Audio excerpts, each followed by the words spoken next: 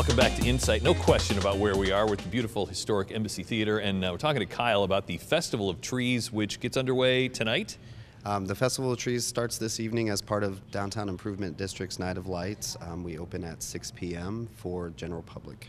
And uh, this every year is probably, uh, I mean, it has to be on the top one, two things to do in downtown Fort Wayne at Christmas. We certainly hope so. That's the goal. Um, we spend a lot of time planning from basically May on, so we cer- we continue to grow in attendance year on year, so that we hope that that continues to be the case. Uh, there's something magical uh, that happens in this space and then with the trees. And I'm not sure which one helps the other one more, but it, the combination is just powerful. So the space certainly is well suited for the Festival of Trees, but I like to think that it's all of the the time the decorators take and all that positive energy that they bring in that helps with that.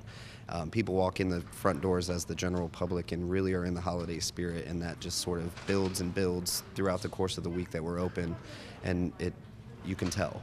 So people that have never been, uh, explain like the the layout because when I came in the first time, I just assumed it was here in the lobby area and then we were done, but Sure. it keeps going.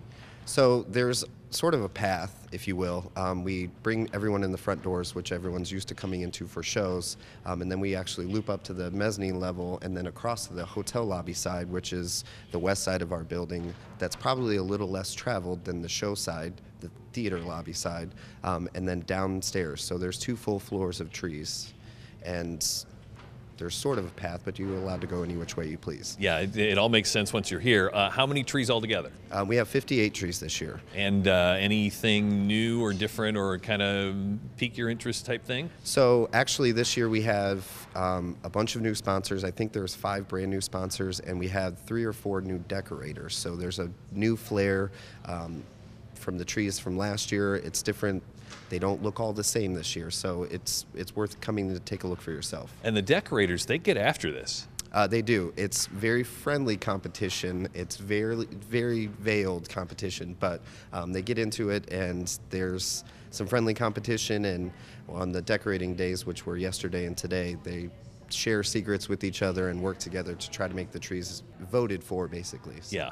Uh, you have to be asked this question uh, about uh, what happens to the trees afterwards. Uh, people probably ask that uh, to you on the spot. we work with Hoover the Mover, and they come in at the close on Wednesday night, December or November 30th this year, excuse me, um, and they shrink wrap everything, and then the sponsors of the tree decide where they get delivered to.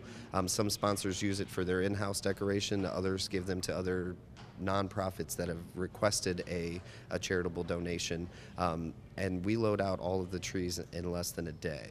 Wow. So by December 1st, there is no no sign of Christmas trees in the building at all, and then we get ready for the busy show schedule. Yeah, that's the thing that shocks me the most is uh, how quickly it is that it comes and goes so fast. So uh, let everyone know when they can see all these beautiful trees. Sure. The first public hours, as I mentioned, are on Night of Lights, um, and then it runs a full week through Thanksgiving. We are open Thanksgiving hours, and then Friday, Saturday, and Sunday we're open noon to eight. Um, and then November 28th, 29th, and 30th, which is that Monday, Tuesday, Wednesday, we're open from 9 to 1. Um, and then Wednesday, the Fort Wayne Children's Choir will be doing a community sing-along, um, and they take stage at 6:30. There you go. Check it all out online. We will be right back on Insight.